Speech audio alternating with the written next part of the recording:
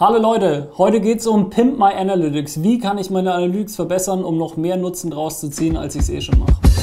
I done been around the world, been around the block, been around the Biggie and Pac like Vita Guerrera. Took her to the top, she'll give you some brains, you let her throw up the rock. Hallo Leute, heute geht es um Pimp My Analytics. Lasst uns loslegen. Alright, bottles on me, long as someone drink it, never drop the ball, fuck it y'all thinking. So Leute, ähm, Frank von Edgar Digital hat uns, ähm, also er ist äh, Digital Analytics Manager da, hat uns eine Frage geschickt und zwar möchte er wissen, wie man die Analytics-Installation pimpen kann, um noch mehr Aussagen über das Userverhalten rauszuziehen. Das ist eine super wichtige Frage, Frank. Ich glaube grundsätzlich, das müssten manche da draußen wissen, leider ist es nicht für alle so, ist es leider so, dass sehr, sehr viele Leute Analytics installieren, damit denken, dass der Job gemacht ist und dann guckt im schlimmsten Fall nicht mal mehr jemand rein, aber wenn die Leute noch reinschauen, dann denken sie, ja, das ist eben alles, was ich aus Analytics rausziehen kann. Stimmt in den meisten Fällen aber nicht. Also mit, ich würde sagen, 95 Prozent der Kunden, mit denen wir anfangen zusammenzuarbeiten, denen fehlt noch mindestens eine super wichtige Einstellung in Analytics, um noch besser ihre Nutzer und ihre Zahlen zu verstehen, die letztendlich drin sind. Ähm, man kann unglaublich viel noch rausholen. Ich gehe erstmal davon aus, dass ähm, die gängigen Sachen alle drin sind. Also Universal Analytics äh, sind eingebaut. Ich habe Referral ausgeschlossen. Das heißt, meine Zahlungsmethoden tauchen nicht bei, wie PayPal zum Beispiel in den Referrals auf. Äh, auch die eigene Seite nicht, wenn sie nicht dahin gehört, weil sie von einer anderen Subdomain möglicherweise hin verlinkt. Ähm, ich habe den Bot-Traffic auch ausgeschlossen, super wichtig, klar, der hat ja nichts, zu nichts drin zu suchen. Ähm, verfälscht euch komplett die Conversion Rate für, für manche Channels vielleicht, auch wenn er falsch getaggt ist. Ähm, und äh, ja, wie kann ich von da weitermachen? Also wenn ich eine clean Installation habe, wenn ich die Sachen rausgefiltert habe, die nicht drin sein sollen, wie geht es jetzt weiter? Ähm, ich glaube, erstens, Site Search anschalten ist wahrscheinlich das kleinste Problem, aber trotzdem super wichtig. Funktioniert nicht mit allen ähm, Webseiten-Suchmaschinen. Das wird immer wieder ein bisschen äh, ein Problem geben. Ein Problem ist vielleicht ein bisschen viel, aber ihr müsst es ein bisschen anpassen, damit es so funktioniert, wie ihr es gerne hättet. Ähm, kann euch super viel bringen. Ihr könnt rausfinden, was Leute auf eurer Webseite suchen, wenn sie das Suchfeld benutzen. Ähm, das kann euch helfen, Produktgruppen rauszufinden, die möglicherweise viel zu tief in eurer Seite versteckt sind und auf einer Ebene deutlich höher aufgebaut sein sollten, weil Leute Interesse dran haben und sie schneller kaufen würden, wenn sie sie früher sehen würden. Ähm, es kann aber auch sein, dass ihr vielleicht entdeckt, dass Leute ein Produkt erwarten, das ihr gar nicht im Sortiment habt. Ich rede viel über E-Commerce jetzt in dem Fall, ähm, liegt daran, weil 90 Prozent unserer Kunden aus dem E-Commerce-Bereich kommen und ähm, die Beispiele, die sind, die ich gerade im Moment im Kopf habe, aber ihr könnt sie übertragen. Also wenn ihr einen Blog habt oder irgendwas in der Richtung oder eine Content-Plattform, auch da könnt ihr sehen, was für Themen Leute interessieren. Ähm, das nächste wäre definitiv auch mit Content Grouping zu arbeiten. Das heißt, ihr könnt euren Content besser clustern. Oft ist es so, dass es Menschen nicht wirklich interessiert, gehe ich ähm, auf die eine Kategorie oder die andere. Es ist für mich viel wichtiger zu wissen, bin ich auf eine Kategorieseite gegangen oder ist der User auf eine Kategorieseite gegangen. Und genau das könnt ihr mit Content Grouping machen. Also ihr könnt nicht nur die, die Themenfelder abstecken. Das heißt, wenn sich euer Shop zum Beispiel in drei große Segmente ähm, unterteilt, ich weiß es nicht, Außenfarbe, Innenfarbe und Feuchtraumfarbe. Und ihr habt zu allem unterschiedliche Kategorieseiten, Produktseiten und unterschiedliche Nutzer, weil die nicht alle genau das gleiche Produkt kaufen und nicht alle überlappen in den Schnittmengen.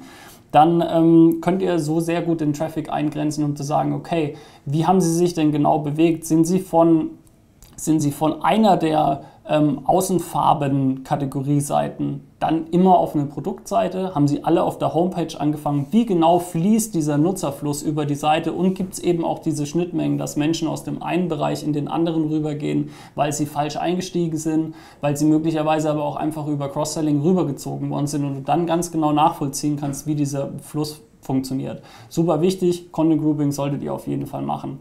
Ähm, Dazu, klar, auch wichtig, hätte ich wahrscheinlich direkt am Anfang bringen sollen, weil es bei so vielen Leuten noch vergessen wird. Alles, was ihr macht, solltet ihr mit UTM-Parametern taggen. Also jede Marketingaktivität, jede Kampagne und zwar so präzise, dass ihr spätestens in drei Monaten auch noch wisst, was das Ganze hieß, als ihr es eingetragen habt. Nur dann habt ihr die Chance, wenn ihr rückblickend euch ein komplettes Jahr anschaut oder mehrere Kampagnen vergleichen wollt, auch die Zahlen in Analytics wirklich miteinander zu vergleichen. Ich glaube, das gibt unglaublich viel ähm, Aufschluss darüber, wie sich Nutzer verändern, wenn sie aus anderen Kanälen oder aus anderen Kampagnen kommen.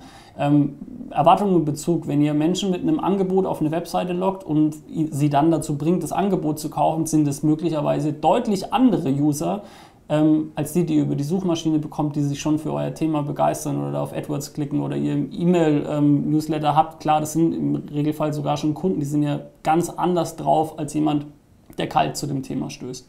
Was dann noch wichtig ähm, ist, hauptsächlich fürs E-Commerce, ist Enhanced E-Commerce. Also das ist einfach ein Feature, das nicht standardmäßig aktiviert ist, das auch ein bisschen Zeit braucht, um es einzubauen, um es richtig einzubauen mit allen Funktionen, gibt euch aber deutlich mehr Power, um zu verstehen, wie eure Webseite genutzt wird, wie eure Kunden shoppen, wie sie, wie sie den Checkout benutzen. Also Shopping Behavior ist ein Punkt in, in ähm, Analytics, der super wichtig ist. Wenn ihr ihn einsehen könnt, könnt ihr euch genau anschauen, wie viele Leute hatte ich auf der Seite, wie viele Leute davon haben sich ein Produkt angeschaut, wie viele Leute davon haben ein Produkt in das Cart gelegt, wie viele haben einen Checkout gestartet, wie viele sind am Schluss zu einer Transaktion gelangt. Ähm, das ist normalerweise nicht drin, aber unerlässlich. Genauso Checkout Behavior ist auch drin. Habt ihr mehrere Schritte im Checkout und es ist kein One-Step-Checkout, ähm, dann interessiert es euch bestimmt, an welchem Schritt die meisten Leute abspringen. Wo gibt es denn Probleme? Ist es so, dass sie bis zur Zahlungsart durchmarschiert sind, ohne festzustellen, oh, ich kann hier gar nicht mit PayPal kaufen und dann den Checkout verlassen? Möglichkeit, Möglichkeit da wirklich nachzulegen, um zu sagen, okay, warum bouncen die auf der Zahlungsartenseite. Da müsste man sicher noch ein anderes Tool mit einsetzen, aber um eben diese Indizien zu finden, super gut geeignet. Es gibt noch ein paar ähm, sophisticated Features, was das Enhanced E-Commerce angeht, ähm, Product List Performance und so weiter und so fort, wo ihr dann noch Möglichkeiten habt zu vergleichen, wo wird ein Produkt bei mir auf der Webseite angezeigt und wo auf der Webseite hat es tatsächlich den größten Impact. Ähm, wenn ihr zwei Toaster habt und einen auf der Homepage in eurem Topseller-Widget anzeigt und einmal auf der ähm, Listing-Seite für Haushaltsgeräte, und ich habe die Möglichkeit zu vergleichen, welche der beiden Positionen funktioniert besser, dann ergibt es möglicherweise für mich einen großen Sinn zu verstehen, wie User auf diese Seite gekommen sind. Haben die sich vorher noch gar nicht was durchlesen müssen, um mal alle meine Toaster zu sehen? Oder ist es so, dass ich vielleicht vergleichen möchte, ähm, welche Position in meinem Listing welchen Impact darauf hat, wie viele Leute die Detailseite dieses Produkts sehen. Oft ist es nämlich so, dass die Position fast genauso eine große Rolle spielt wie das Produkt selber, das angezeigt wird. Product List Performance, mega starker Report.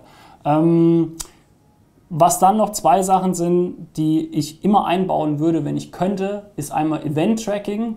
Ähm, super powerful, gibt euch Aussagen, wenn ihr es richtig einbaut, über Dinge, die Google Analytics sonst einfach nicht messen kann. Bestes Beispiel, ihr habt einen Blog, ähm, wo ihr sehr, sehr tiefführende Artikel habt und anschließend eine, eine hohe Bounce Rate und ihr wundert euch, an was das liegen kann. Möglicherweise liegt es einfach daran, dass die Leute eure Seite gelesen haben und danach gebounced sind, weil der Artikel absolut ihre Frage beantwortet hat.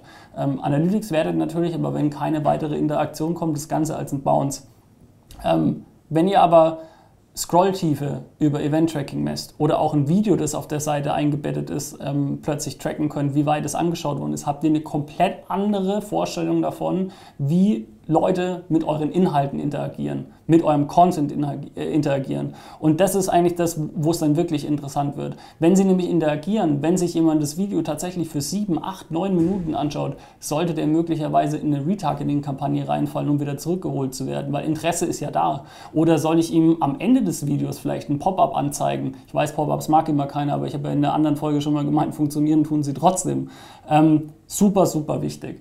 Und das zweite, ähm, für mich eigentlich das spannendste Thema in Deutschland, leider eines der schwierigsten, weil datenschutzrechtlich immer noch eine Grauzone äh, User ID View, also Cross-Device Tracking auch für Google Analytics. Ähm, das stärkste Feature, das, das aktuell ähm, meiner Meinung nach der Facebook Business Manager für Advertising mit, mit sich bringt, ist, dass sie über Geräte hinweg wissen, ich bin die gleiche Person.